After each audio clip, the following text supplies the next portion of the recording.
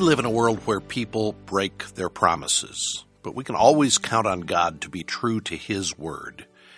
Even when our friends fail us, God is faithful to fulfill His covenants. Today on Truth for Life, Alistair Begg examines a promise God made to a childless couple that He would transform their union and make them a great nation.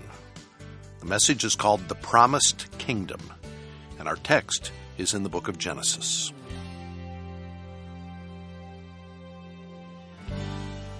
What is a covenant?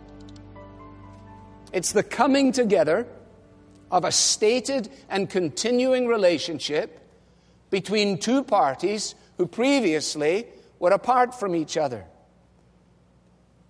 The coming into existence of a stated and continuing relationship between two parties who previously were apart from each other. This is, this is why marriage is a covenant. Marriage is not a contract. Marriage is not something that has been devised in time, uh, dreamt up by people. No, it is a covenant. It's not a unilateral covenant in the way in which God unilaterally exercises his initiative with Noah. It is a mutual covenant between a husband and wife, but they covenant together, they come together, and the people say, and the two will become one. And it is stated, and it is obvious, and it is public. They came prior uh, as single individuals. They walked down the aisle, united in a covenant relationship. Now, without exception, the whole human race is involved in wickedness. Outwardly, uh, it was clear in the face of the earth. Inwardly, the thoughts of the hearts of men and women were deceitful, and equally, they were in the same position. So, why does God do this? because of his plan to have a people that are his very own. He's putting together a people. And if he hadn't had Noah and the ark, then there would be no people. Because the flood would have taken everybody out. So he puts together a people in the safety of the ark. And the people who were not in the safety of the ark, what did they do? They ignored the preacher of righteousness. Noah goes amongst the people and he says, Listen, God is going to judge the world. There's going to be a flood. And they said, You're nuts. It doesn't even rain. What do you mean a flood? You're a crazy man, Noah. I don't understand you. Well, I understand a little of how he must have felt. People say, You're crazy. You don't honestly believe the Adam and Eve stuff, do you? You're crazy. You don't honestly believe that a Galilean carpenter is the answer to the sins of the world. You're crazy. You don't believe that Jesus is going to return again for a people that are his very own. Oh, no. We, we, we'll, we'll, thank you, but we'll just get on the way we are. Amazing, isn't it, really? Now, this covenant is established with Noah God gives him a big, huge sign, a rainbow, and uh, he promises he's going to preserve creation and he's never going to again destroy it by a flood. I'm going to skip Abram for a moment, if you don't mind. I'm sure he doesn't mind. God makes a covenant with Moses. We're not going to get into it. He says, You're my people, the Israelites. You'll be my special people, and I'm going to give you a sign as well. And that's the sign of the Sabbath. And God is moving all of this covenant picture forward because the Israelites, as we see as we go forward with our study, broke their covenant obligation. God enters into judgment on them. But he promises them, and primarily through his prophet Jeremiah, that there's going to be a new and a better covenant. And that new and better covenant will lead to a changed heart, a universal knowledge of God, and complete forgiveness. And it will be by his death on the cross that Jesus inaugurates that new covenant. That's why in the Last Supper, Jesus says, This cup is the new covenant in my blood for the remission of sins. Now, those people understood this. They said, You mean to say that you are going to bring people into a relationship with yourself as a result of your death on the cross? Jesus says, That's exactly what I'm going to do. Indeed, every other covenant points forward, and there is, in a sense, only one covenant that is ultimately embodied in the sacrifice of the Lord Jesus. Now, the covenant with Abram, of course, is foundational, and that's why we have uh, read from Genesis 12 this morning. And the sign of the covenant with Abram, of course, is circumcision. Now, we're going to end here, so you can sort of take a deep breath and say, okay, we're sort of on the final stretch, and let me explain this as best I can. In Cain and Abel, you've got sin and judgment, and grace is revealed in the fact that Cain has a mark put upon him, and although he is exiled, he's not abandoned. In the judgment of sin, in the mortality of Genesis chapter 5, you have sin, you have judgment, which is death, and then you have grace, which is revealed in the fact that Enoch was not because God took him. And then in the flood, you have sin, you have the judgment of God in the flood, and then you have grace in Noah and in those who joined him. And then the fourth element in that was the Tower of Babel, right? In Genesis chapter 11. But when you read Genesis chapter 11, you have sin and you have judgment. You have the people turning their back on God. You have the judgment of God when He says, okay, I'm going to scatter these people. I'm going to diversify their languages. I'm going to put them all over the place. But there's no indication of grace. Genesis 11 ends sin, judgment. Where's grace? Well, you have to wait a chapter, chapter 12, and a generation before God comes to repair what is devastated in chapter 11.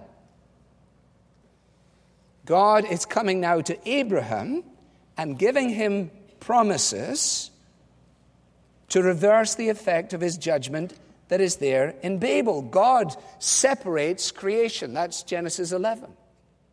Now, in chapter 12, his grace becomes apparent. Instead of just saying, okay, scatter and get out of my sight, the way a parent may sometimes say, listen, why don't all of you get out of the kitchen? In fact, get out of the house, get out of the neighborhood. You never felt that way at all. All right. So just, just go. God might equally have said, you know what, I'm just going to scatter you and be done with you. But no, he, he wasn't and he couldn't because of the nature of who he is. And in Genesis 12, he comes to this man, to a pagan man called Abraham. You see, Abraham wasn't some fellow who was reading his Bible on a daily basis, you know, a really nice guy. Abraham was just a guy. And God comes to Abraham and he says to him, I will make you into a great nation and I will bless you. And I will make your name great and you will be a blessing. And I will bless those who bless you, and whoever curses you, I will curse, and all peoples on earth will be blessed through you. Now, listen, my friends, because this is crucial. Here in the first three verses of Genesis 12, you have really the first indication, the first expression of the gospel promise, of the good news of what God is doing in His world. John Stott says of this it may be truly said, without exaggeration, that not only the rest of the Old Testament, but the whole of the New Testament is an outworking of these promises of God.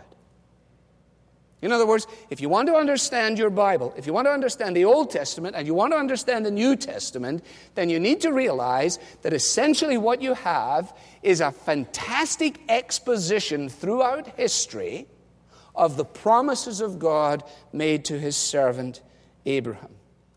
Genesis 12, 1 to 3 is the text that the rest of the Bible expounds.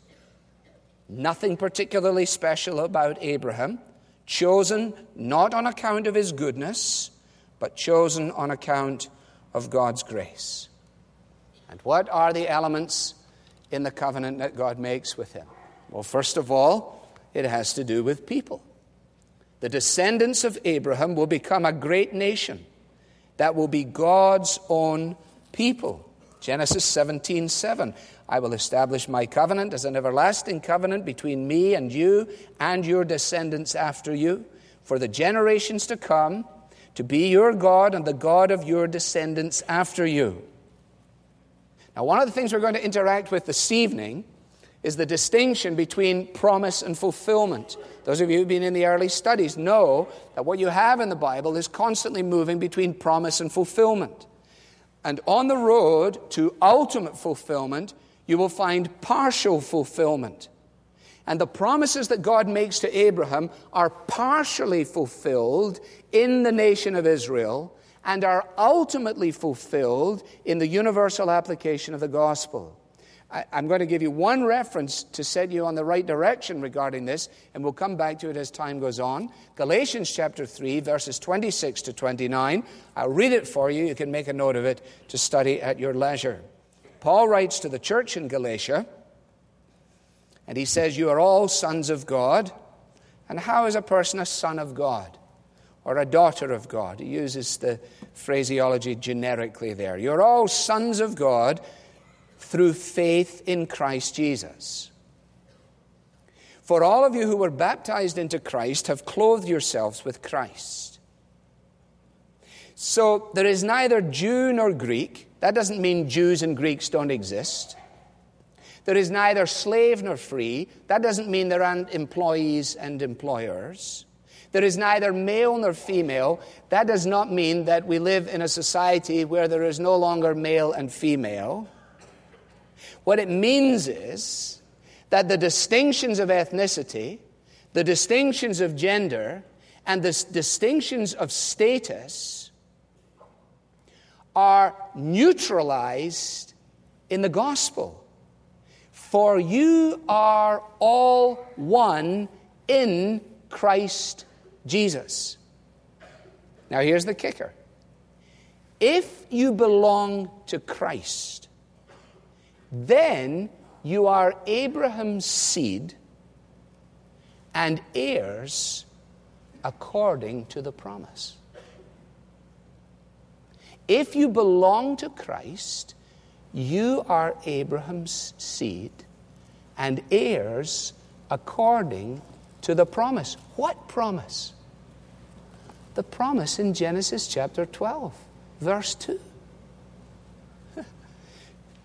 My dear friends, if you could get just a tiny glimpse of the immensity of this, if each of us could, the way in which the gospel is presented to us, the way in which we tend to respond to it, and so on, makes it seem as if it was some kind of uh, immediate and existential experience in a moment of time because this happened or that happened, and that we are, if you like, unhinged from the totality of all that is preceded and follows from it. But nothing could be further from the truth. If you are in Christ today, then the promise that God made to Abraham, if you like, has your name on it. And behind the promise he made to Abraham in all of eternity, that has your name on it. my name from the palms of his hands. Eternity cannot erase. For there it is marked in indelible grace. For by God's grace I am a citizen of heaven. I serve a king called Christ. I'm moving towards the place of His appointing.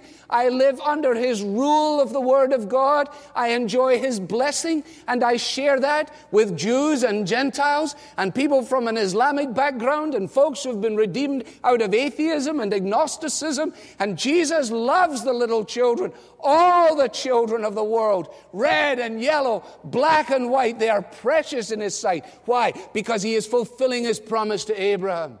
It is immense. You're not a speck of stellar dust floating somewhere in this time space capsule, lost in the 21st century, moving towards who knows where. But you are a child of the King, patterned and planned and suggested and brought to fruition. Oh, it ought to bring our chins up off our chest. Oh, it ought to make us fall before God and worship Him. Why would He ever do this? Why Noah? Why Abraham? Why you and why me? There is no explanation except His grace. His grace. If it, were, if it were human invitation and human implementation, hundreds of people would have become Christians last Sunday. I made it as clear as you possibly can. There are three ways you can view your life. You're part of a chance universe heading for oblivion. Or you're held in the grip of a blind impersonal force called fate. Or you may be the child of a creator God who loves you in Christ and you may know him. And people went out the door, just out the door, back to their Easter lunch. Those same people, if I had presented to them three possibilities for financial investment and gave them a dog and another dog and a good one, they would have said, We'll take the good one. Of course, leave the dogs behind. But I explained to them chance, oblivion, or Jesus. And they walked out the door, telling me what? Telling me that unless the grace of God works in the heart of an individual, you can speak to your blue in the face. Therefore, I preach to a congregation that metaphorically every Sunday has its fingers in its ears and its eyes over its face. And I could not, in a million Sundays, pull your fingers out or take your scales off your eyes. But God can, and God does, and He does, and that's our confidence. And that's the people He's putting together. Let me ask you again Is your heart the sphere of God's rule? Do you live under His rule? Do you enjoy His blessing? That is the question of the ages. That is the question. And the land that he gives them in Canaan is just a picture of all that heaven is going to be. It was a wonderful place and flowing with milk and honey and so on. And it spoke of his blessing. Spoke of his blessing. I look forward to tonight when I can try and clarify some of the stuff I have to leave. But let me give to you our summary statement that we've tried to. And here's, here's your line, incidentally, if you want to be able to make sense of the Bible. The kingdom of God, what is it? God's people in God's place under God's blessing.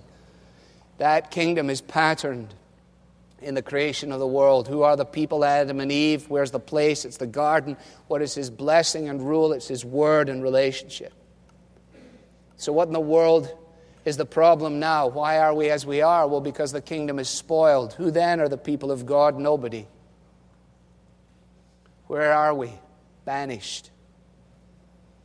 Do we know God's rule? No, we're disobedient. Do we know his blessing?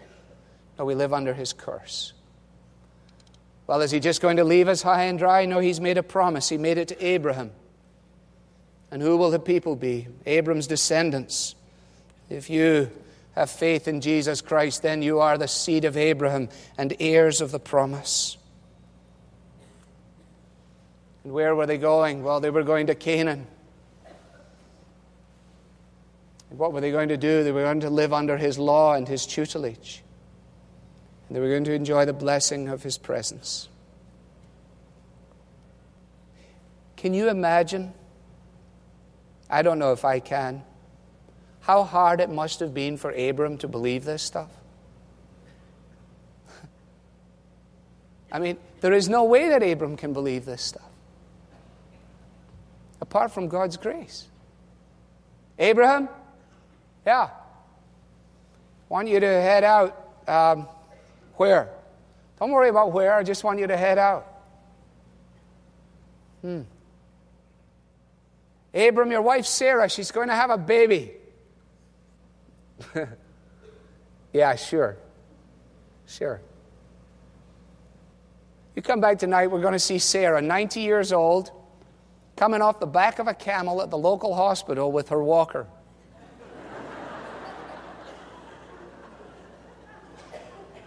And one of those nice red coated people comes out and says, Ha, Mrs. Abraham, can I help you? The geriatric ward, is it?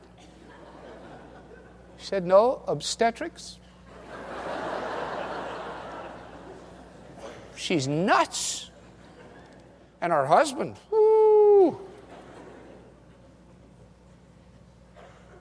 See, the future of the kingdom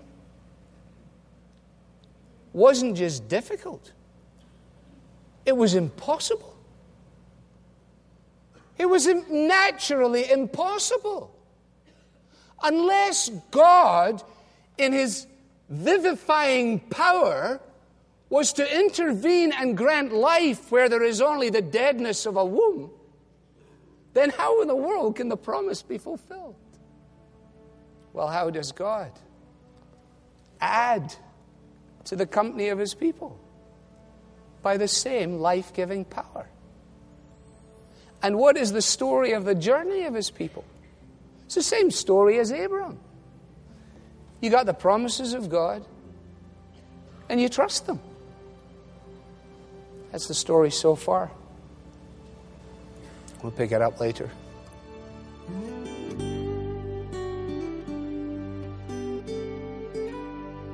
The Promised Kingdom.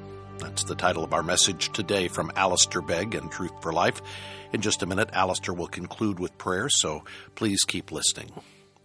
This message is part of a unique series called The Kingdom of God. In this study, Alistair is taking us on a sweeping journey through the scriptures, from Genesis to Revelation, so we can see the unfolding story of God's kingdom. We hope this series is already deepening your understanding of God's plan for His people from the beginning of time. To go along with this study, we want to recommend to you a book that tracks with Alistair's teaching. It's a book titled God's Big Picture. This book follows with the same eight stages of God's kingdom that Alistair is describing in this series. We've already seen the perished kingdom and the promised kingdom. There are five more stages still ahead. We'd love to send you a copy of this book so you can read more about the overarching themes of God's kingdom and how you fit into that story. We invite you to request your copy of God's Big Picture as our way of saying thanks when you donate to support Truth for Life. Ask for your copy of the book when you give today. Call 888 588 7884. That's 888 588 7884. Or if it's easier, you can donate and request God's Big Picture online at truthforlife.org. If you'd prefer to mail your donation, write to Truth for Life, P.O. Box 39 8000, Cleveland, Ohio 44139. Now to close with prayer, here's Alistair. Father, we thank you that the Bible's not just a ragbag of ideas thrown together over a period of time by folks who wanted to foist a religion on people, but that there is a cohesive structure to the vastness of the Bible and we bow underneath its awesome story today. Come and search our hearts that we might, in our lives, be the very sphere of your kingly rule. Some of us are so stuck on ourselves, sit on our own throne, tell everybody what we've done, how good we are, what we've made, where we're going. But we know that our lives are spoiled. We try and unspoil them by doing stuff. But even when we do stuff, that's spoiled. And we need to come humbly to you and acknowledge that only you can forgive sin. Only you can fill the empty void of a life without you. That we do need a king to reign over our lives, a king who's gracious and kind and who loves to bless. So come, Lord Jesus Christ, and claim your people today and exercise your kingly rule. And may the grace of the Lord Jesus Christ, the love of God our Father, and the fellowship of the Holy Spirit rest upon and remain with all who believe, today and forevermore. Amen. I'm Bob Lepine, hoping you can join us again tomorrow when we'll continue discovering the unfolding narrative that runs through all of Scripture. The Bible teaching of Alistair Begg is furnished by Truth for Life. Where the learning is for living.